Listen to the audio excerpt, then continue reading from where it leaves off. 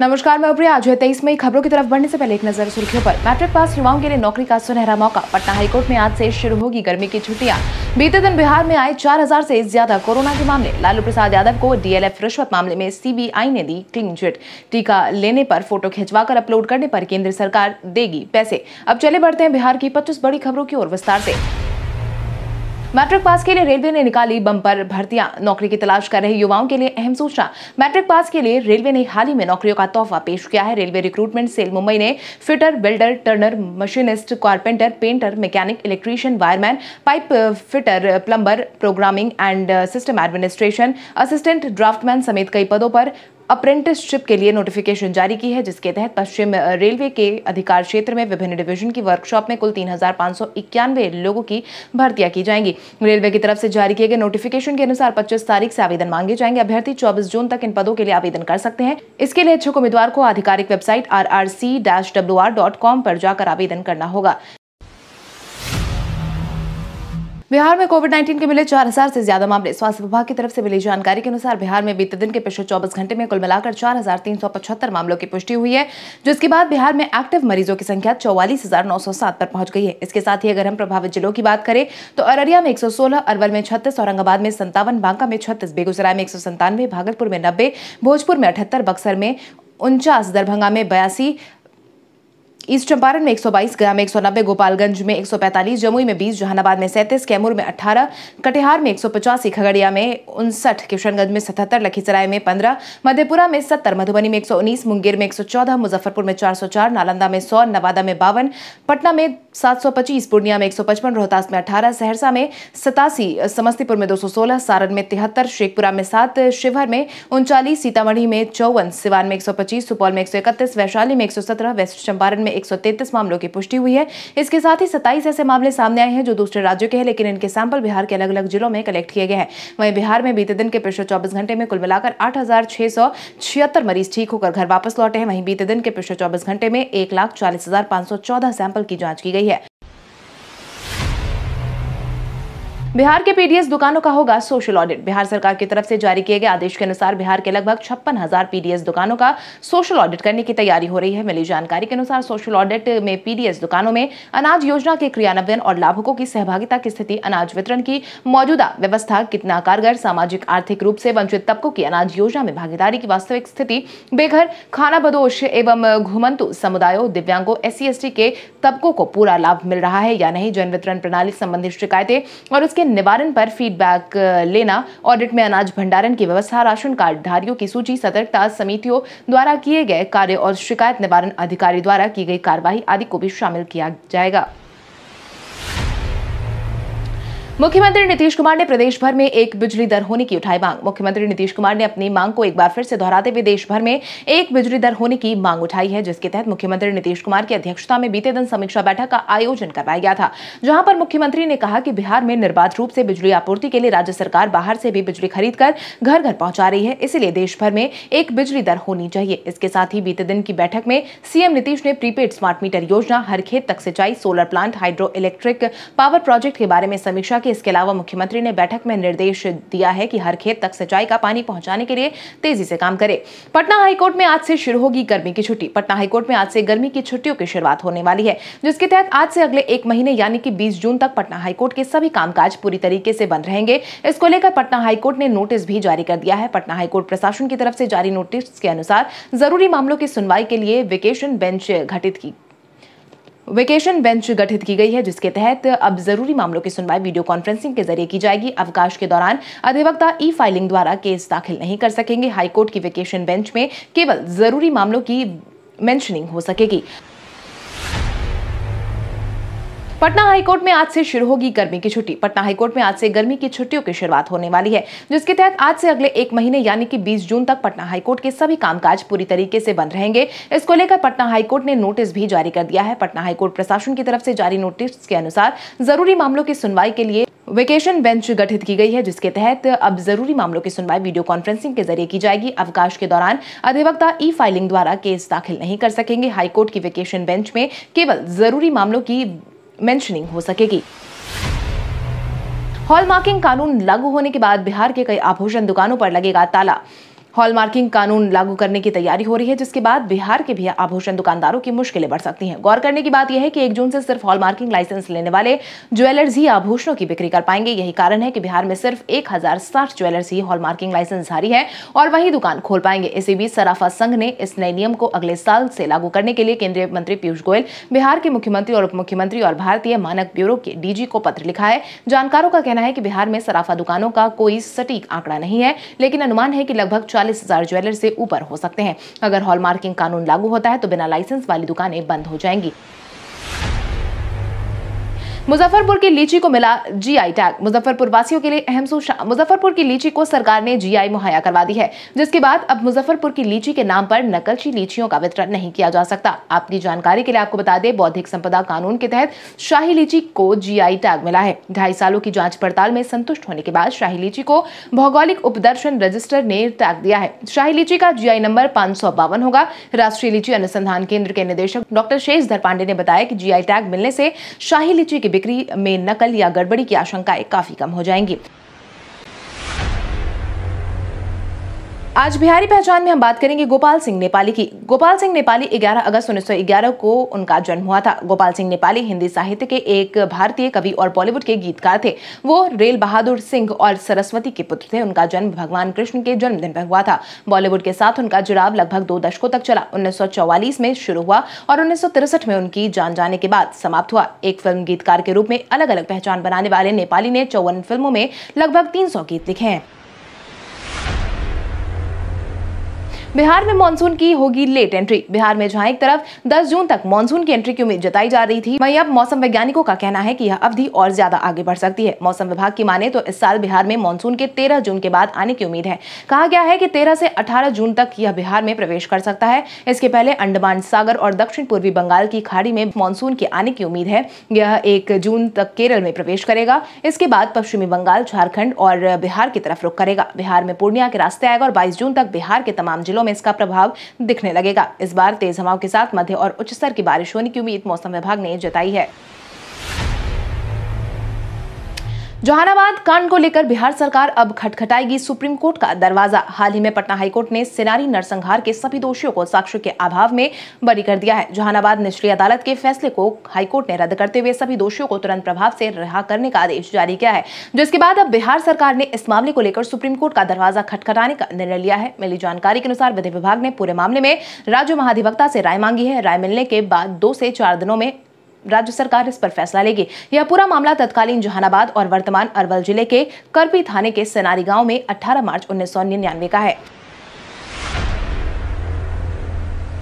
NCC ने बिहार झारखंड में बढ़ाई साढ़े चार हज़ार सीटें। बिहार बिहार झारखंड के एनसीसी में साढ़े चार हज़ार सीटों में इजाफा कर दिया गया है, जिसके तहत राज्य के निजी और अर्धसैनिक स्कूलों में पढ़ने वाले बच्चे अब एनसीसी में शामिल होकर अपने जीवन को नई ऊंचाइयाँ प्रदान कर सकते हैं। इस संबंध में एनसीसी पटना के group commander brigadier Vinesh Rana और अन्य अधिकारियों ने रक्षा मंत्रालय की तरफ़ से जारी निर्णय का स्वागत करते हुए कहा कि छात्र छात्राओं को एनसीसी का लाभ प्रदान करने के लिए बिहार और झारखंड निदेशालय को कुल चार हज़ार चार सौ चौरानवे अतिरिक्त जेडी, जेडब्ल्यू रिक्तियाँ आवंटित करने का फैसला किया गया। है इसके साथ ही जिन निजी स्कूल में 500 के आसपास छात्र छात्राओं का नामांकन है, वहाँ पर एनसीसी का प्रशिक्षण कार्य आरंभ किया जाएगा।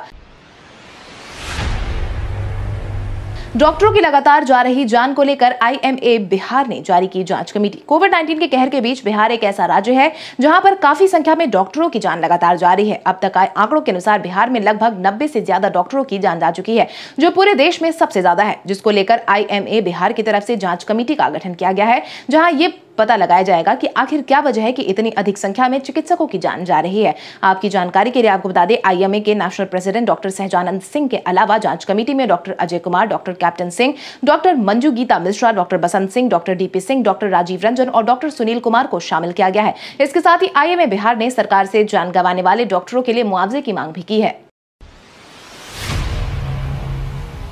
पटना यूनिवर्सिटी के पूर्व कुलपति के निधन पर मुख्यमंत्री ने जताया शोक। बीते दिन पटना यूनिवर्सिटी के पूर्व कुलपति और प्रख्यात शिक्षाविद प्रोफेसर वाईसी सिमरहार्दी ने दुनिया को अलविदा कह दिया है, जिसके बाद से लगातार शोक संवेदनाएँ आ रही हैं। इसी क्रम में मुख्यमंत्री नीतीश कुमार ने भी प्रोफेसर वाईसी सिमहाद्री के गुजर जाने पर अपनी शोक संवेदना व्यक्त की है, जिसके तहत उन्होंने कहा कि प्रोफेसर वाईसी सिमहाद्री प्रख्यात शिक्षाविद थे, उनके निधन से शैक्षणिक जगत में अपूर्णीय क्षति हुई है। मुख्यमंत्री ने दिवंगत आत्मा की चेर शांति और उनके परिजनों को दुख के इस घड़ी में धैर्य धारण करने की शक्ति प्रदान करने की ईश्वर से प्रार्थना की है। साइकिल चलाकर शादी करने पहुँचे युवक को बीडीओ ने किया सम्मानित। कोविड 19 के माहौल में मुख्यमंत्री नीतीश कुमार ने व्यक्तिगत रूप से सभी लोगों से शादी समारोह का आयोजन करवाने से बचने की नसीहत दी थी। वहीं इसी बीच एक युवक ने अनोखी शादी की मिसाल पेश की है, जिसके तहत बांका के शंभुगंज के रहने वाले एक युवक ने लॉकडाउन में एक ऐसी आदर्श शादी की है, जिसने पूरे क्षेत्र में चर्चा शुरू हो गई है। खुद बीडीओ ने युवक से मुलाकात करके इस शादी की सराहना की और पुरस्कृत भी किया। इतना ही नहीं, शादी की इस अनोखी खबर को सुनने के बाद शंभुगंज बीडीओ प्रभात रंजन ने नव दंपति को मुख्यमंत्री विवाह योजना का लाभ दिलाने की बात भी कही है। लालू प्रसाद यादव को डीएलएफ रिश्वत मामले में सीबीआई ने दी क्लीन चिट राज्य सुप्रीमो, लालू प्रसाद यादव को बीते दिन बड़ी राहत मिली है, जिसके तहत डीएलएफ रिश्वत मामले में सीबीआई की तरफ़ से लालू प्रसाद यादव को क्लीन चिट दे दी गई है। आपकी जानकारी के लिए आपको बता दें, सीबीआई की आर्थिक अपराध शाखा ने दो हज़ार अठारह में कथित भ्रष्टाचार को लेकर लालू और रियल एस्टेट डेवलपर डीएलएफ समूह के खिलाफ प्रारंभिक जाँच शुरू की थी। लालू यादव पर आरोप लगाया गया था कि डीएलएफ समूह मुंबई बांद्रा स्टेशन के अपग्रेडेशन और नई दिल्ली रेलवे स्टेशन प्रोजेक्ट को हासिल करने की कोशिश की गई और इसी दौरान उन्हें कथित रिश्वत के तौर पर साउथ दिल्ली के एक पौष इलाके में संपत्ति खरीद कर दी गई थी, जिसके बाद बीते दिन तीन साल पुराने डीएलएफ रिश्वत मामले में सीबीआई ने उन्हें क्लीन चिट दे दी है। हालाँकि लालू प्रसाद यादव इन दिनों जेल से बाहर ही चल रहे हैं। झारखंड हाईकोर्ट ने भी उन्हें जमानत दे दी थी। बिहार सरकार ने ब्लैक फंगस को किया महामारी घोषित। बिहार सरकार ने लगातार ब्लैक फंगस के बढ़ रहे मामलों को देखते हुए इसे महामारी घोषित कर दिया है। लगातार इसकी मांग की जा रही थी कि ब्लैक फंगस बीमारी को पैंडेमिक की तरह देखा जाए, जिसके बाद स्वास्थ्य विभाग की महत्वपूर्ण बैठक के बाद यह निर्णय लिया गया। महामारी घोषित हो जाने के बाद सभी सरकारी हॉस्पिटल को भारत सरकार के गाइडलाइन के अनुसार ब्लैक फंगस का इलाज करने का निर्देश दिया गया है। बिहार के स्वास्थ्य मंत्री मंगल पांडे ने कहा कि मुख्यमंत्री नीतीश कुमार के निर्देश पर ब्लैक फंगस को एपिडेमिक डिज़ीज़ एक्ट के तहत अधिसूचित किया गया है। पांडे ने कहा कि इसके तहत स्वास्थ्य विभाग द्वारा कई निर्देश जारी किए गए हैं। इस एक्ट के तहत सभी निजी और सरकारी स्वास्थ्य संस्थानों द्वारा ब्लैक ब्लैक फंगस की बीमारी का इलाज अब युद्ध स्तर पर किया जाएगा। किसान सलाहकारों के मानदेय में हुआ इजाफा। किसान सलाहकारों के मानदेय और सुविधाओं में बिहार सरकार ने वृद्धि करने का ऐलान किया है, जिसके तहत प्रतिमाह मानदेय के रूप में कृषि सलाहकारों को एक हज़ार अधिक, यानी कि तेरह हज़ार मिलेंगे। इनका प्रमुख काम कृषि विभाग की योजनाओं के प्रचार प्रसार, सत्यापन, मिट्टी की जाँच करवाना, खेती के लिए किसानों को बैंक से लोन दिलाने में मदद करना है। आपको बता दें, किसान सलाहकारों के मानदेय में अंतिम बार दो हज़ार सत्रह में वृद्धि की गई थी, तब उनका मानदेय आठ से बढ़ाकर बारह हज़ार किया गया था। ग्राम पंचायत स्तर पर किसान केंद्र चलाने के लिए कृषि विभाग ने राज्य योजना के तहत प्रगतिशील किसानों का किसान सलाहकार के रूप में चयन किया था। आज दोपहर तक बंद रहेगी एनईएफटी e सेवा। अगर आज एनईएफटी e के माध्यम से ऑनलाइन संबंधित मनी ट्रांसफ़र के काम को करने से पहले आप ज़रूर सोच विचार कर लें, क्योंकि आज आपका ऑनलाइन संबंधित मनी ट्रांसफ़र का काम अटक सकता है। खुद आरबीआई ने इस बात की जानकारी दी है। हालाँकि एनईएफटी e के बाद बंद रहने के दौरान आईएमपीएस के ज़रिए आप मनी ट्रांसफ़र की सेवा ले सकते हैं। आरबीआई ने अपनी तरफ़ से यह साफ़ कहा है कि शनिवार आधी रात से लेकर रविवार की दोपहर तक national electronic fund transfer service बाधित रहेगी। केंद्रीय बैंक द्वारा ट्वीट कर दी गई जानकारी के मुताबिक इस दौरान तकनीकी अपग्रेडेशन के चलते एनईएफटी के ज़रिए फंड ट्रांसफ़र की सुविधा उपलब्ध नहीं रहेगी। हालाँकि ध्यान रहे कि इस दौरान पैसे ट्रांसफ़र करने के लिए आप आईएमपीएस सुविधा का लाभ पहले की तरह ही उठा सकते हैं। सीएम नीतीश कुमार ने बिहार के चलंत आरटीपीसीआर जाँच केंद्र को हरी झंडी दिखाकर किया रवाना। बिहार में अब चलंत आरटीपीसीआर जाँच केंद्र देखने को मिलेगा। बीते दिन मुख्यमंत्री नीतीश कुमार ने इसे हरी झंडी दिखाकर जाँच केंद्र को रवाना कर दिया है। आपकी जानकारी के लिए आपको बता दें, कोविड नाइन्टीन के वर्तमान मामलों को देखते हुए और ब्लैक फंगस के मामलों को देखते हुए स्वास्थ्य विभाग ने चलंत आरटीपीसीआर वैन की व्यवस्था शुरू की है। जिसके बाद मुख्यमंत्री नीतीश कुमार ने भी अपना बयान जारी किया है, जिसके तहत उन्होंने कहा कि इस वैन के आ जाने से ग्रामीण इलाकों में कोरोना जाँच में सहूलियत होगी, साथ ही लोगों को समय पर जाँच रिपोर्ट भी मिल जाएगा। मुख्यमंत्री ने कहा कि कोरोना जाँच पर आने वाले खर्च को राज्य सरकार वहन करेगी। सैंपल की जाँच में, फ़िलहाल एक सैंपल की जाँच में छह रुपए का खर्च आता है। बिहार के ग्रामीण इलाकों में ऑक्सीजन लेवल सही करने की होगी व्यवस्था। बिहार के ग्रामीण इलाकों में ऑक्सीजन लेवल सही करने की पर्याप्त व्यवस्था बिहार सरकार अब करने वाली है, जिसके तहत पटना ज़िले के ग्रामीण इलाके में स्थित तेईस पीएचसी में पाँच बेड का आइसोलेशन सेंटर बनाया जाएगा। इसके लिए इसके लिए oxygen cylinder oxygen concentrator pulse oximeter bed ambulance और अन्य ज़रूरत के सामान की खरीद की जाएगी। जानकारों की माने तो सभी ग्रामीण इलाकों में स्थित प्राथमिक अस्पताल में पहले चरण में आइसोलेशन वार्ड बनाया जाएगा और फिर उसे अपग्रेड कर उसमें आईसीयू बेड और वेंटिलेटर की व्यवस्था की जाएगी, जिसके तहत क्षेत्र के विकास के लिए जिला परिषद को वित्तीय वर्ष दो हज़ार में पंद्रहवें वित्त आयोग के तहत पहली किश्त के रूप में दो करोड़ मिल चुके हैं। पप्पू यादव की रिहाई के लिए राष्ट्रपति को लिखी जा रही है चिट्ठी। बत्तीस साल पुराने मामले में पप्पू यादव को गिरफ़्तार किए जाने के बाद अब उनकी रिहाई को लेकर अभियान तेज किया जाएगा।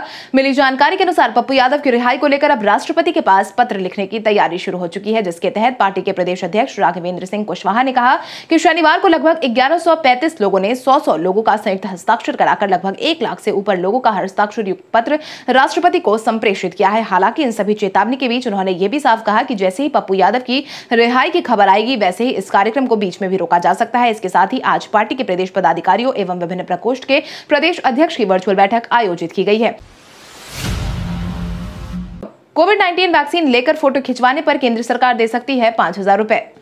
केंद्र सरकार की तरफ़ से जारी की गई योजना के अनुसार जो भी व्यक्ति वैक्सीन लगवाने का फ़ोटो एक अच्छी टैगलाइन के साथ शेयर करेगा, उसे इनाम में पाँच हज़ार रुपए का कैश प्राइज मिलेगा। हर महीने दस सिलेक्टेड टैगलाइन को सरकार की तरफ़ से पाँच हज़ार रुपए दिए जाएँगे। यदि आप या आपके परिवार के किसी सदस्य ने वैक्सीन लगवाई है तो टीकाकरण के महत्व पर एक अच्छी टैगलाइन के साथ टीकाकरण की तस्वीर शेयर करें और लोगों को प्रेरित करें। इस कॉन्टेस्ट में हिस्सा लेने के लिए आपको सबसे पहले माई पोर्टल पर जाना होगा। यहाँ log in to participate tab पर क्लिक करें, जिसके बाद से रजिस्ट्रेशन डिटेल्स फिल करनी होगी। इसको लेकर माई इंडिया ने ट्विटर पर इसका लिंक भी शेयर कर दिया था।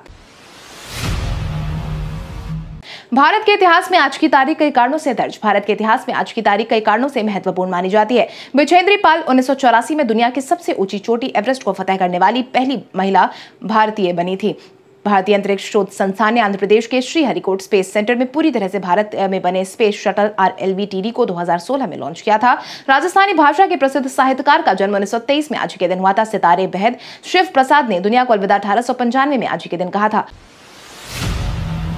इंग्लैंड के पूर्व लेग स्पिनर मॉन्टी पनेसर ने भारतीय टीम की जीत को लेकर की भविष्यवाणी। इंग्लैंड के पूर्व लेग स्पिनर मॉन्टी पनेसर ने भारतीय टीम की जीत को लेकर भविष्यवाणी की है, जिसके तहत फैंस के सवाल का जवाब देते हुए पनेसर ने एक के बाद एक ट्वीट कर कहा कि भारतीय टीम इस वक्त अपने शानदार फॉर्म में है। अगस्त में अगर विकेट टर्न लेगी तो दो स्पिनर के साथ भी टीम इंडिया सीरीज़ जीत सकती है। मौजूदा टीम के पास इंग्लैंड को पाँच शून्य से हराने का मौका है। एलिस्टर कुक के संन्यास के बाद इंग्लिश टीम का टॉप ऑर्डर उतना मज़बूत नहीं है। इसलिए टीम इंडिया इंग्लैंड का क्लीन स्वीप कर सकती है।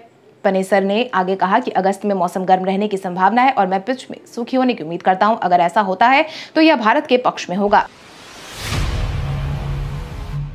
देसी माइक्रो ब्लॉगिंग साइट कू ने जारी किया सरकारी दिशा निर्देश। ट्विटर की लगातार हो रही आलोचनाओं के बीच देसी माइक्रो ब्लॉगिंग साइट कू काफ़ी ज़्यादा फल फूल रहा है। वहीं सरकार और ट्विटर के बीच बढ़ती अनबन को देखते हुए ही कू ने पहले ही सरकार की तरफ़ से जारी किया गया दिशा निर्देश जारी कर दिया है। कू ने शनिवार को एक बयान में कहा कि उसके निजी नीति, उपयोग की शर्तें और सामुदायिक दिशा निर्देश महत्वपूर्ण सोशल मीडिया मंचों पर लागू होने वाले नियमों की ज़रूरत का पालन करते हैं। कू के करीब साठ लाख उपयोगकर्ता है, जिसके साथ वो नए दिशा निर्देशों के अधीन आने वाले मंचों में एक बन जाती है। कंपनी की तरफ़ से मिली जानकारी के अनुसार कू ने एक समय जाँच पड़ताल और शिकायत निवारण तंत्र लागू किया है।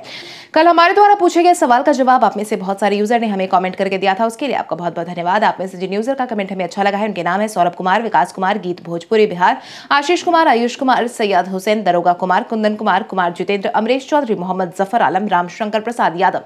इसके अलावा हमारी टीम को और भी लोगों के जवाब अच्छे लगे हैं, मगर समय के अभाव के कारण हम उनका नाम नहीं ले पाए। लेकिन आप हमारे सवालों का जवाब देते रहे। कल आपका नाम लेने की पूरी कोशिश करेंगे तो चले बढ़ते हैं आज के सवाल की ओर। आज का सवाल कुछ इस प्रकार है। आपके अनुसार ब्लैक फंगस को पैंडेमिक घोषित करने का फैसला ब्लैक फंगस के मामलों में नियंत्रण लाने में मददगार साबित होगा या नहीं? अपने जवाब हमें कॉमेंट करके ज़रूर बताए। इसके साथ ही आज के लिए बस इतना ही। बिहार की बड़ी खबरों से अपडेटेड रहने के लिए हमारे यूट्यूब चैनल को सब्सक्राइब करें और बेलाइकॉन दबाना ना भूलें। धन्यवाद।